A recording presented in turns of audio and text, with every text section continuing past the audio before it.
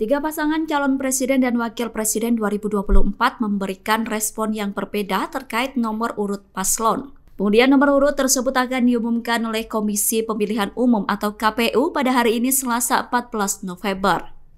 Terkait nomor urut itu, pasangan Anies Baswedan dan Muhaimin Iskandar berharap mendapatkan nomor urut 1.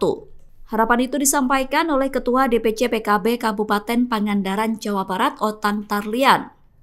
Dia menilai angka satu dalam pemilu bisa memiliki makna tersendiri. Otang menilai angka satu memiliki makna pemenangan dengan perolehan suara terbanyak. Selain itu, dengan nomor urut satu, pihaknya tidak perlu kesulitan menyosialisasikan partai serta capres-cawapres yang diusung. Sementara itu, kubu Ganjar Pranowo dan Mahfud MD akan menerima apa pun keputusan hasil pengundian nomor urut.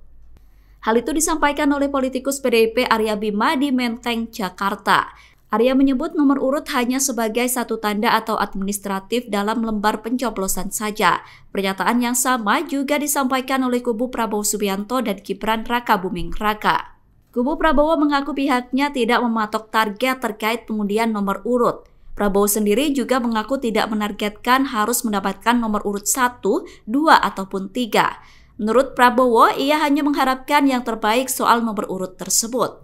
Download Tribun X sekarang, menghadirkan lokal menjadi Indonesia.